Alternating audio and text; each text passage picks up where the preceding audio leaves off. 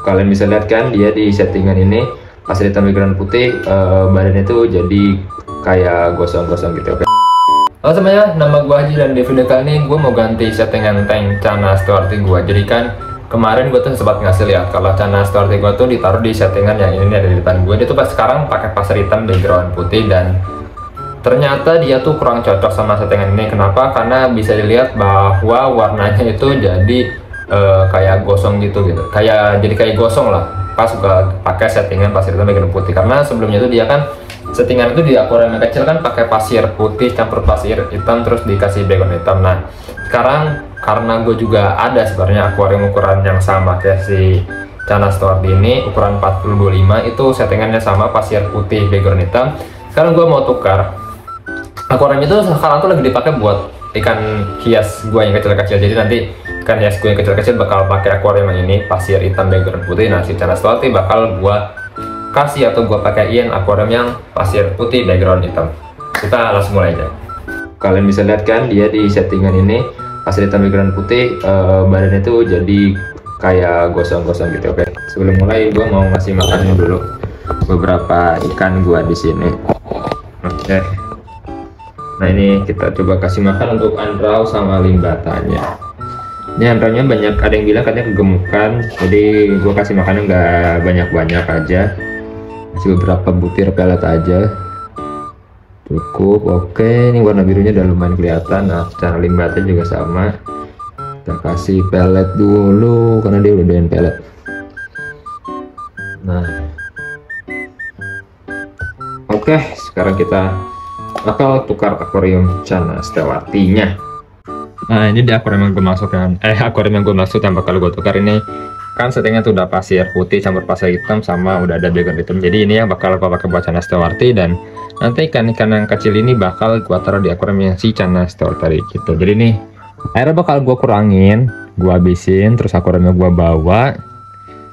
Ya gitulah nanti gua ini aja. Karena gue juga gak ada wadah ember yang gede sih buat nampung semua air jadi mungkin nanti di yang di salah satu akuarium airnya bakal gue buang dan bakal gue ganti air baru. Oke kita coba langsung nguras. Gue bakal nguras pakai alat ini.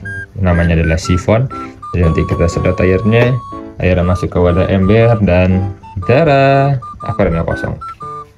Ini gua videonya nanti kalau air udah gua buang aja. Karena ini gua susah sih kalau sambil buangin air sambil ngevideoin juga. Air di akuariumnya udah gua kuras ini sekarang gua lagi mau nyekin nyekin dulu karena emang tadi uh, apa ya gue ngeliatnya kayak emang kotor banget sih ini. Mana mungkin emang efek efek lampu gitu ya jadi kayak ada lumut-lumut coklat gitu. Kita sikat-sikatin dulu ininya tadi ikannya juga udah gue amanin sih di di ember. Kanan kirinya juga. Biar nanti akuariumnya bening oh ya nanti gue juga mau kasih lakban di sini buat pembatas airnya. Jadi walaupun nggak diisi penuh kelihatannya tetap rapi ini batu juga nggak akan gue pakai sih untuk tanah stewarti. Biar ini buat eh, ikan-ikan uh, yang kecil tadi aja. Takut gue kalau pakai batu-batu gini di channel strategi gitu. Ikut boros gas gesek nanti dia malah luka. Luka. Oke kita coba sekarang kasih lakban dulu. Gue bakal ambil lakban yang dari ini aja. Ini lakban channel strategi biar gak terlalu boros harusnya sama ya ukurannya karena ukuran akurannya emang sama sih. Hmm, nah nanti gue bisa isi air sesuai perbatasan lakbannya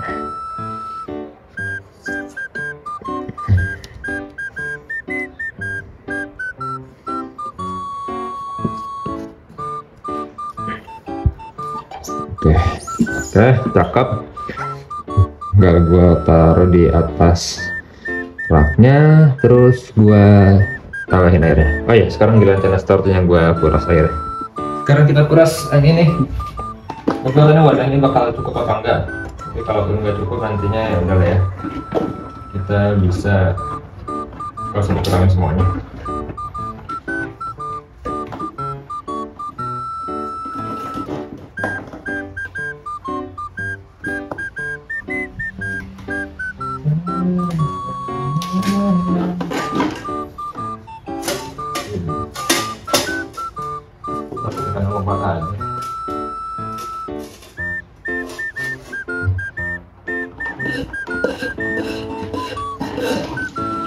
Jika pencet airnya berkurang langsung nah. kita. Tunggu dulu. Sampai benar-benar berkurang ya? Semoga cukup ya wadahnya nih kita pakai wadah yang ini nih kalau ada gini semoga cukup ya. Sambil nunggu sambil mainin cara baru. Anjay ini cara barunya paling lihat ya. Warnanya tuh makin naik sih kalau gua lihat dari waktu pertama gua beli dia karena emang gue progres pakai air ketapang sama gue kasih makan pakai udang juga sih.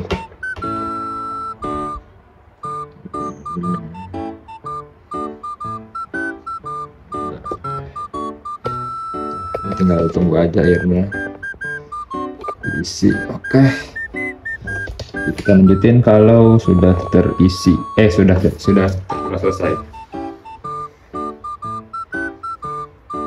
ini kalau dilihat akornya lebih tinggi sih ini dibandingin yang bukan kecil gue sepenglihatan gue ya akornya itu lebih tinggi sih.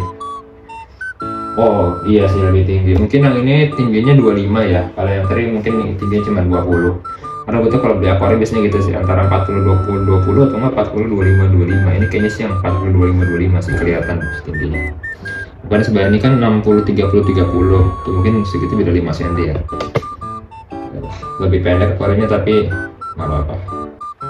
Sudah berganti akuarium ini. Bukan misalnya tingginya memang ternyata beda jauh. Berarti kemungkinan yang ini sih bukan kemungkinan sih. Pasti ini tingginya 40 20 20 kalau yang tadi itu yang ini nih yang kontras itu 40 25 25 tapi oke. Okay. sekarang kita mau gue mau habisin air dulu sih itu. Kenapa karena itu kan bekas ikan-ikan kecil dan baunya juga kayaknya kurang. Karena startnya gue taruh kompres dulu dulu gue bakal habisin dulu. Supaya buat channel startnya lebih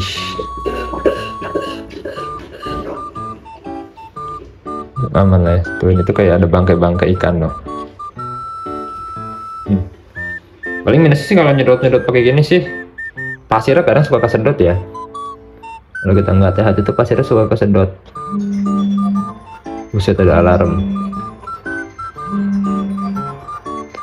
tuh alarm kalau gue biasanya tidurnya siang eh tidur siang eh tidur sore. Sekarang kan ini gue record jam setengah lima kayak itu jam lima ya. Udah jam 5 berarti tadi gue record jam setengah limaan.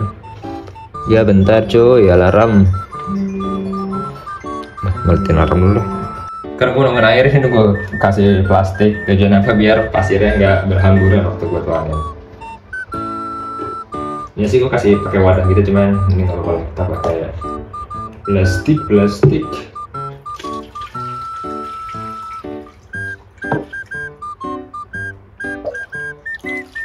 ini juga salah satu cara yang bisa kalian coba. Kalau misalnya mau di akuarium pakai gayung kayak begini dan kepingin pasir yang berantakan bisa coba ditaruh plastik alasnya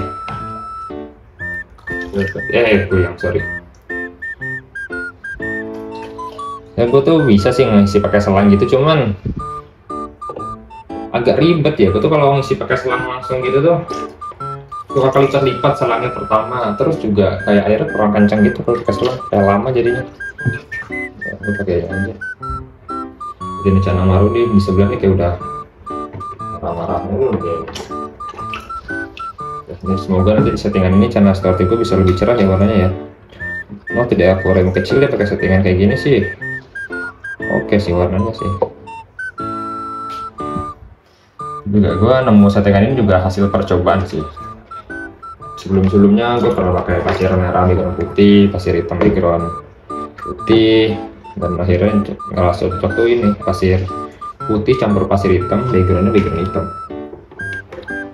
Ya kita masukin ke channel artinya Nanti kita lihat butuh waktu berapa lama dia buat adaptasi. Harus cepat sih ini dia cuman adaptasi settingan tanknya aja. Untuk airnya ini gue masih pakai air yang dia air dia yang lama tadi ya bisa kalau adaptasi cepat mungkin menyesuaikan sama tempat aja ya. Mana udah masuk belum dia? Oke udah masuk. Ini kita buka. Mungkin nanti kita bakal tambahin air lagi sih. Ya ternyata kurang ya.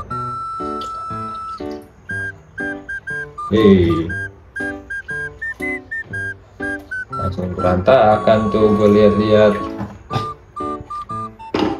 ini dia penampakan aquarium chana seterusnya setelah airnya eh ganti settingan tank ini sih udah sekitar beberapa jam setelah dikuras sekarang tuh udah jam 8 ini gue tuh mau prepare live tapi gue lupa untuk ngasih update gimana kondisinya dan ini dia. Yang diganti di settingan tank pasir Bali background hitam. Ini jauh lebih better sih kelihatannya dibandingin sebelumnya warnanya lebih keluar walaupun emang belum keluar-keluar banget sih tapi ya mendingan lah daripada tadi pakai settingan pasir hitam background putih dia tuh agak gosok jadi kalau sepengalaman gue ya untuk settingan tank China itu sebenarnya nggak ada yang resmi. Kalau China ini harus settingannya kayak gini yang ini eh bukan secara resmi yang pasti lah.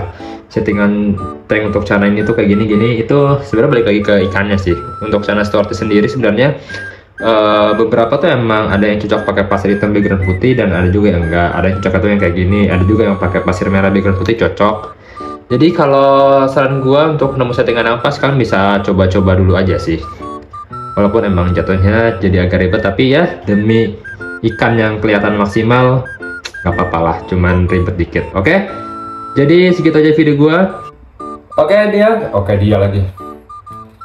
Ini gua baru mandi jadi sampai jumpa di video selanjutnya, oke? Okay?